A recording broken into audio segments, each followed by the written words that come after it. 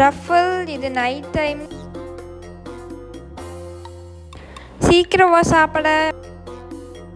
இப்போ நீ வரப்போறியா இல்லையா? நான் உண்மையாக ஒரு ஸ்டோரி சொன்னால் அப்புறம் நீ அங்கே நிற்கவே மாட்டா. சீக்கிரம் வந்துடுவேன் சொல்லிட்டா. இது நைட் டைமு அப்புறம் நீ வந்து நான் ஸ்டோரி சொன்னால் நீ பயந்துப்ப ரஃபல் ஓ இங்க படுத்துற நிமிஷம் என்னால தாங்க முடியலையே.